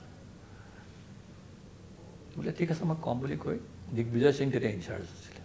দিগ্বিজয় সিং আকৌ হিমন্ত বিশ্ব শৰ্মাৰ লগত খুব ভাল। ব্যক্তিগতভাৱে ভাল। হিমন্তই মানুহ ভাল কৰিব জানে। যিটো আমি নাজানো আৰু নোৱাৰোঁ। হিমন্ত বিশ্ব শৰ্মাই ক'লে দিগ্বিজয় সিঙে ক'লে যে নাই পাৰিব। চলি থাকিব চব ঠিকে চলিছে হিমন্ত খুব হেৰি আছে তৰুণ গগৈ পাৰিব এইটো চলাবলৈ তেতিয়া Himanta Tarun Gogoi right hand man আৰু। তেতিয়া হিমন্তই প্ৰায় যি কয় তৰুণ দাই যি কয় হিমন্তই তৰুণ দাই যি বিচাৰে সেইটো হিমন্তই কৰি দিয়ে। বা নিবিচাৰিলে হিমন্তই কৰা মতে হয়। তাৰ কিছুদিনৰ পিছত লাহেকৈ ইতিমধ্যে মানুহ বাঢ়িবলৈ আৰম্ভ কৰিলে মিটিংবোৰ হ'বলৈ ধৰিলে এম এল এবোৰে মাতে আমি মাতো আমি সোণিয়াজীক লগ ধৰিলে দিগ্বিজয় সিঙৰ এম এল এবোৰক মাতিলে। যেতিয়া এম এল এবোৰক মাতিলে এম এল এবোৰে গম পালে যে আমাৰ হাত আছে গতিকে লাহেকৈ মানুহ হেৰি হ'বলৈ আৰম্ভ কৰে ন? গৌতম ৰয় চন্দন চৰকাৰ। চৰকাৰ এইবোৰ চব হিমন্তৰ সোঁহাত। আৰু কিছুমান হিমন্তৰ সোঁহাত আছে সেইখিনি কিন্তু মোৰ লগত আছিলে মানে জেনেৰেলি হেৰি কৰা। লাহেকৈ সিহঁত গৈ পেলাই হিমন্তৰ তাত বহা আৰম্ভ হ'ল আৰু হিমন্তই মানে ক'লে যে এইটো আমি আমি মানে হেৰি কৰিব লাগিব কিন্তু তেনেকৈ নকবি। বুলি তেতিয়া আৰু কেইজনমান মহিলা এম এল এ আছে মহিলা মন্ত্ৰী আছে তেওঁলোকৰ লগত তেওঁৰ এটা গ্ৰুপ আছে তেওঁ ক'লে। তেওঁলোকে ক'লে যে আমিও মানে এবাৰ এইটো কথা হেৰি ক'ব লাগিব যে চাওঁ। বুলি কৈ লাহে লাহে তেওঁ পেটেল এইবোৰৰ লগত কথা পতা আৰম্ভ কৰিলে। লাহে লাহে লাহে লাহে তৰুণদাৰ এগেইনষ্ট ইতিমধ্যে আকৌ আৰু মিউনিচিপেলবোৰ হ'ল কাউঞ্চিলবোৰ হ'ল হাৰি হাৰিবলৈ ধৰিলে। তেতিয়া তৰুণদাক মই ক'লোঁ যে তৰুণদা আপুনিতো যাম বুলি কৈছিলে গতিকে আপুনি যোৱাৰ সময়ত চেঞ্জ এটা কৰোঁ আমি বেলেগ কাৰোবাক পাতোঁ বোলে ৰাখে মই গুচি গ'লে অসমখন বেয়া হৈ যাব ন? কোনে চলাব পাৰে? মইতো তেতিয়া বেছি লগ নাপাওঁ। মইতো ক'লোঁ তোৰ পাব আপুনি কি কৈছে? আপুনিতো হেৰিতে যাব খুজিছিলে চতে যাব। আপুনি এতিয়া দুহেজাৰ ছয়ত নগ'লে কেতিয়া যাব? বোলে নহয় নহয় এইটো এতিয়া মই গ'লে অসমখন শেষ হৈ যাব। এনেই পঢ়াই দিলে গোটেইখনে। গতিকে লাহে লাহে আমাৰ লগত হেৰিটো আৰম্ভ হ'ল আৰু। আৰম্ভ হৈ পেলাই ইতিমধ্যে আমাৰ লগত আহি হিমন্ত গোট খাই হিমন্ত এফালে আমাৰ লগত গোট খাই সিফালে গোট খাই হিমন্তৰ সেইখিনি এটা হিমন্তৰ এটা বেলেঞ্চিং পাৱাৰ আছে। হিমন্ত এতিয়া এতিয়া হিন্দুক পূৰা সোমাই গৈছে। যেতিয়া মুছলমানৰ কংগ্ৰেছত আছিলে পূৰা মুছলমান। যি কি নহওক তৰুণদাই লাহে ধীৰে লাহে গম পোৱা হ'ল আৰু তৰুণদাই আহি পেলাই ক'লেও এবাৰ গৈ পেলাই যে মই যাওঁ আৰু। প্ৰায় ঠিক হ'ল। তেতিয়া মা আমি ক'লোঁ যে তৰুণদাৰ পাছত কাক পাতিব লাগে? যেতিয়া সুধিলে ৰাহুল গান্ধীয়ে মোক ক'লে যে কাক পাতিব লাগে? তেতিয়া মই ৰাহুল গান্ধী বোলে সেইটো হেৰি পিছত কাক পাতিবি? আহমেদ পেটেলহঁতে তেতিয়া কিন্তু মানে অলপ হিমন্তৰ কাৰণে দিগ্বিজয় সিং আহমেদ পেটেলে কৈছিলে বোধকৰোঁ যিটো কথা কিন্তু ৰাহুল গান্ধীয়ে একচেপ্ট নকৰে। এতিয়া মোক ক'লে যে তই ৰাহুলৰ লগত এবাৰ কথা পাতি মই ৰাহুল গান্ধী বুলি ক'লোঁ। ক'লে যে কাক পাতিম? তেতিয়া মই ক'লোঁ যে আমি এতিয়া টেম্পৰেৰী এটা টাইম আছে যিখিনি টাইম আছে সেইখিনি টাইমলৈ আমি প্ৰণৱ গগৈ পাতিব লাগে। হু ইজ প্ৰণৱ গগৈ ভালকৈ চিনি নাপায়। মই চব কি কাৰণে ক'লি তোমালোকে প্ৰণৱ গগৈৰ এটা ইমেজ আছে তেওঁ হৈছে খুব ৰেচপেক্টেবল এজন আহোম ফেমিলি মানুহ। প্লাছ তেওঁ নন কণ্ট্ৰভাৰ্চিয়েল তেওঁ আগতে হেৰিত আছিলে জনতা দলত আছিলে। তাৰ আগতে কংগ্ৰেছ তেওঁৰ বাপেক কংগ্ৰেছত বিমলা প্ৰসাদ চৌধুৰী মিনিষ্টাৰ আছিলে। আৰু তেওঁৰ এটা অসমৰ জাতীয়তাবাদী শিবিৰৰ লগত তেওঁৰ এটা তেওঁৰ ৰেচপেক্ট আছে। আৰু তেওঁ যিটো এখন দলিলখন কৰিলে এখন যে অসম চুক্তি সম্পৰ্কত সেইখন লৈ পেলাই তেওঁৰ এটা পপুলাৰিটি আছে প্লাছ তেওঁ তেওঁৰ কৰাপশ্যন নাই। আৰু তৰুণদায়ো তেওঁক অপ'জ কৰিব নোৱাৰে। কাৰণ তেওঁলোক ছেইম ডিষ্ট্ৰিক্টৰ মানুহ। গতিকে তেওঁক আমি পাতি লওঁ পাতি লোৱাৰ পিছত আমি নেক্সট এছেম্বলি ইলেকশ্যনৰ পিছত আমি চাই লওঁ গোটেই এম এল এবোৰক হিমন্তই কি কৰিলে সেই সময়তে যেতিয়া নতুন বোলে তই এবাৰ তেতিয়াহ'লে হিমন্তক কি কৰিম? মই বোলে হিমন্তক আপুনি একো কৰিব নালাগে আপুনি তেওঁক মাতি পঠাব। মাতি পঠাই হিমন্তক ক'ব যে হিমন্ত তোৰ ভৱিষ্যত মই চাম I look after you so' you do whatever I want you to do what you mean মই sir that is our Rajivji to tell us Rajivji আমাক কৈছিলে কিবা এটা যদি আম- আমাক মোক এবাৰ ইউথ কংগ্ৰেছৰ পৰা ড্ৰপ কৰাইছিলে কৰোঁতে ক'লে don't worry I look after you and he look after me so' you look after that is the Congress tradition he need security look at and call him হিমন্তক মই নি এপইণ্টমেণ্ট ঠিক কৰি দিলোঁ। হিমন্তৰ এপইণ্টমেণ্ট ফাৰ্ষ্ট তাৰপিছত মোৰ appointment আছিলে। এতিয়া ৰাহুলজীয়ে এইটো কথা ক'লে সেই যে কয় কুকুৰে বিস্কুট খোৱা কথা সেইখন সেইখনে মিটিং আছিলে নেকি? মিছা কথা কৈছে।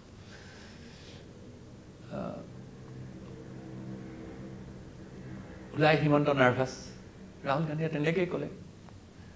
সেই তাৰ পৰা হিমন্ত লাহেকৈ দেখিলে যে আঁতৰৰ কথা আহিছে গতিকে সি নিজে কেন্দ্ৰিত হ'ব লাগে। আৰু প্ৰণৱ দাৰ এগেইনষ্টটো মুভ কৰি পেলাই গোটেই এম এল এবোৰ মবিলাইজ কৰি আৰম্ভ কৰিলে। আৰু যেতিয়া এম এল এ মবিলাইজ কৰি হিমন্তৰ কথা আহিলে ৰাহুল গান্ধীটো উপোজ কৰিব নহ'ল। গতিকে তৰুণদাই থাকি গ'ল থাকি গৈ নিৰ্বাচনত আমি হাৰি গ'লোঁ। নিৰ্বাচনত হাৰি যোৱাৰ পিছত আৰু বহুতবোৰ ঘটনা ঘটিলে। ইতিমধ্যে সিহঁতে ৰিজাইন দিলে। কেনেকৈ ৰিজাইন দিলে কেনেকৈ হিমন্ত গৈছিলে কেনেকৈ হিমন্তক কোনে মাতি পঠাইছিলে কেনেকৈ হিমন্ত গৈ ক'ত ইণ্টাৰভিউ কৰিছিলে এই খবৰবোৰ মই দ্বাৰবাদে দ্বাৰা পাই আছোঁ। অসমৰ পৰা কেন্দ্ৰত মন্ত্ৰী হোৱা মন্ত্ৰী ভঙা পতা এনেকুৱা অলপ কাহিনী কওকচোন। নাই মই মই কেন্দ্ৰ- কেন্দ্ৰত অসমৰ পৰা কেন্দ্ৰৰ মন্ত্ৰী কেন্দ্ৰীয় মন্ত্ৰীৰ ক্ষেত্ৰত কোনো ধৰণৰ তেনেকুৱা ৰাজনীতি মই দেখা নাই।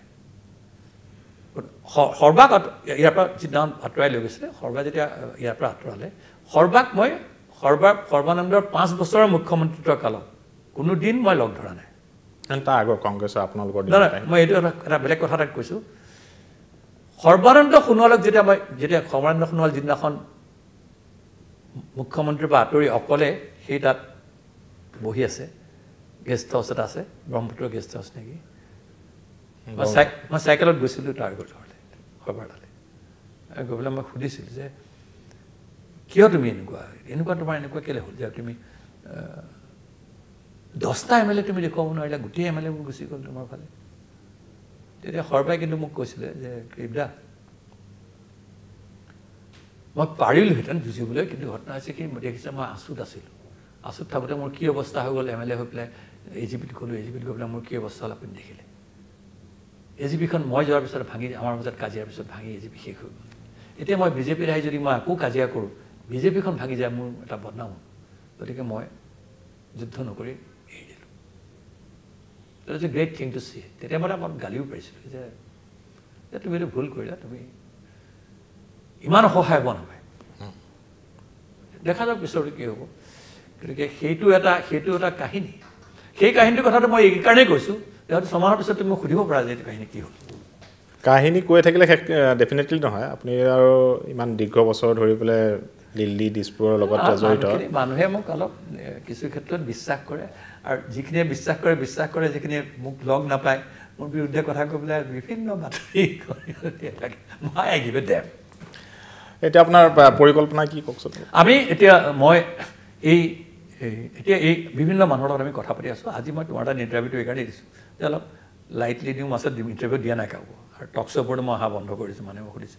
আচলতে আমি এটা আলোচনা কৰি আছোঁ যে আমি কোনখিনি কথা লৈ পেলাই অসমৰ অস্তিত্বৰ কাৰণে যুদ্ধ কৰিম আৰু আমি অস- অসমৰ অসমীয়া মানুহখিনিৰ আৰু উত্তৰ পূৰ্ব অঞ্চলৰ মানুহখিনিক কেনেকৈ আমি ভাৰতবৰ্ষৰ লগত একত্ৰিত কৰি ৰাখি how the regionalism of Northeast becomes a complementary thing to Indian security. আৰু তাত আমাৰ অসমৰ মানুহবোৰৰ একতাটো কেনেকৈ আনিব পাৰোঁ এতিয়া যিটো বিভাজনৰ ৰাজনীতিৰ সৃষ্টি হৈছে দুটা camp one camp is Congress and the other parties এটা camp is which is pro' Muslim বেছি প্ৰ' মুছলিম হৈ গৈছে। আপোনালোকে দেখিব আহ, এইফালে হিন্দু পলাৰাইজেশ্যন এইটো অসমৰ ভৱিষ্যত হ'ব নোৱাৰে কিন্তু। আপুনি আকৌ ইলেকশ্যন খেলিবনে? মই ইলেকশ্যন নেখেলোঁ। কিন্তু মই ইলেকশ্যনত জোৰদাৰ আমি কেম্পেইন কৰিম। জোৰদাৰ কেম্পেইন কৰিম আমি আমি এতিয়া আপুনি নিজে নেখেলে? মই নিজে নেখেলোঁ আমি নেখেলোঁ। আমি এটা টিম ক্ৰিয়েট কৰিম। আমি এতিয়া যিখিনি মানুহ আমি কথা পাতি আছোঁ সেইখিনি মানুহক কিছুদিনৰ পিছত প্ৰকাশ আপোনালোকে দেখিব আমি এখন অভিৱৰ্তন পাৰিম তাত you will be definitely consulted আপোনালোকক মাতিম। আমি সেইখন আমি সেইটো কৰিবৰ আগতে আমি এতিয়া কিছুমান মানুহ লগ খাই আমি এখন থেচিছ তৈয়াৰ কৰি আছোঁ। আৰু যিয়ে নহওক আপোনাৰ বহুখিনি কথা পাতিলোঁ। আপুনি শিক্ষক শিক্ষকতা কৰাৰ কথাখিনি অকণমান কওকচোন যে আপুনি শিক্ষক হিচাপে সুখী। এতিয়া যদি আপুনি এই বয়সত আপুনি যদি ভাবে মইতো আচলতে শিক্ষক হিচাপে মই সুখী আছিলোঁ নে মই পলিটিচিয়ান হিচাপে মই সুখী? মই শিক্ষক হিচাপে শিক্ষক হ'ম বুলি মই কেতিয়াও ভবা নাই। শিক্ষক ৱাজ মাই মোৰ মাজৰ সমস্যা কাৰণ মই লগতে লও পঢ়ি আছিলোঁ নহয়? মই ওকালতিহে কৰিছিলোঁ। মই এতিয়াও ওকালতি কৰোঁ। বহুতে কয় যে সেই পৰাগধৰ চলি অহাৰ যি মৰ্যাদা সেই মৰ্যাদাক আপুনি আহ, মানে কিৰিট চলি অহাই লাঘৱ কৰি পেলালে দেউতাৰ মৰ্যাদা মই মই দেউতাৰ মৰ্যাদাৰ সন্মুখখন মই সম- সমকক্ষ বুলি কেতিয়াও ভবা নাই মই তেওঁলোকে বহুত তলত। কিন্তু মই জানো যে মোৰ আত্মমৰ্যাদাৰ ক্ষেত্ৰত মই কেনেদিন কোনোদিন কম্প্ৰমাইজ কৰা নাই। মোৰ বিৰুদ্ধে বহু শত্ৰু আছে মোক মোৰ মোৰ ডাঙৰ বিপদ হৈছে মোক মানুহে খুব মানুহ হৰিণৰ মাংসই বৈৰী। আপোনাৰ কিহৰ বৈৰী? মই ভাবোঁ যে মই খুব মানুহে মানুহে মোৰ মোৰ শান্তিটো মোৰ শান্তিটো দেখি মানুহে অলপ মানে মানুহৰ আজি আজিকালি হেৰি মানে জিলাচি বুলি এটা বস্তু আছে নহয় সেইটো আছে গতিকে বিভিন্ন বাতৰি হেৰি উলিয়াই থাকে আৰু মই গুৰুত্ব নিদিওঁ। মই হাতী মই হাতীৰ দৰে হাতীৰ দৰে খোজ কাঢ়িব বিচাৰোঁ। মোক ক'ৰবাত নিগনি এটা আহি পেলাই যদি কয় যে আই মই- ইয়াত ৰৈ আছোঁ তুমি মোৰ আগেদি কেলৈ আহিছা? বুলি ক'লে মই তাক গুৰুত্ব দিম নেকি? বেয়া কিন্তু বহুখিনি কথা পাতিলোঁ এই বাদ বিবাদ অনুষ্ঠানত এইখিনি সময় দিয়াৰ বাবে আপোনাক ধন্যবাদ দিলোঁ। আৰু অনাগত সময়ত আকৌ বিশেষ এটা আমি আমি যিখিনি। প্ৰতিশ্ৰুতি দিছোঁ যে অসমৰ অসমৰ ভৱিষ্যত ৰক্ষাৰ কাৰণে অসমীয়া জাতিৰ ভৱিষ্যত ৰক্ষাৰ কাৰণে যিটো ইতিবাচক ইতিবাচক এইবেলে তাৰমানে এইটো নহয় কিন্তু দুৰ্বল কিবা পদক্ষেপ। ইতিবাচক যিটো সংজ্ঞা যিটো ইতিবাচক যিবোৰ কাৰ্যকলাপ সেইখিনিৰ কাৰণে আমি অসমৰ জনসাধাৰণক সংগীত সংগঠিত কৰিবলৈ আৰু ভাৰতবৰ্ষৰ ৰাষ্ট্ৰক ভাৰতৰ ৰাষ্ট্ৰৰ যিবোৰ মূল কাঠামো তেওঁলোকক কনভিন্স কৰিবলৈ আমি আগন্তুক ছমাহৰ ভিতৰত সষ্টম হৈ পৰিম বুলি ভাবোঁ আৰু তাৰপিছত আমি আমাৰ পৰিকল্পনা অনুযায়ী কাম কৰিবলৈ আগবাঢ়িম বুলি ভাবোঁ। তাৰ লগত আমাৰ কাৰণে বহু মানুহ গোট খাইছে। সেইবোৰ মানুহ কোনো ধৰণৰ ৰাজনীতিৰ লগত জড়িত নথকা বুলি বুলি নকওঁ ৰাজনীতিৰ লগত জড়িত মানুহ। কিন্তু তেনেকৈ সচৰাচৰ সেই সেই ধৰণে আলোচনা নকৰে যিবোৰ আলোচনা আমি কৰিম। ডেফিনেটলি আকৌ আপোনাৰ সৈতে বহিম আৰু বাদ বিবাদ অনুষ্ঠান আকৌ লগ পোৱাৰ প্ৰতিশ্ৰুতি এতিয়ালৈ ইমানেই। নমস্কাৰ।